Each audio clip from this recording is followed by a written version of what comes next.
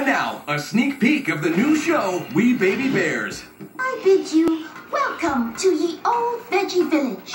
Wow! Check it out, bros! A blacksmith! Come on, we lunch to make you cookies, human. Everyone's so friendly and polite. I'm glad you think so. Obviously, vegetables are very good for you, so do imagine how quick being a vegetable must be. I guess that tracks. What's that? Painting. No, I mean, what's that? Oh, that's the castle. Only the prophesied king may live there. Prophesized king? Ah, it's all documented here. Be it known that before the castle veggie rests an ancient stone holding a legendary sword. Many a brave knight and nobleman have tried freeing the sword, but alas, the sword will not. Legend says the sword can only be lifted by the true heir to the throne. You telling me if someone pulled the sword, they become king?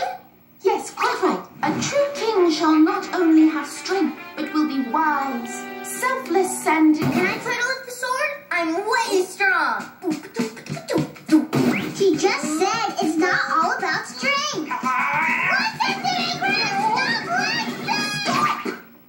If you'd like to try lifting the sword, please be my guest.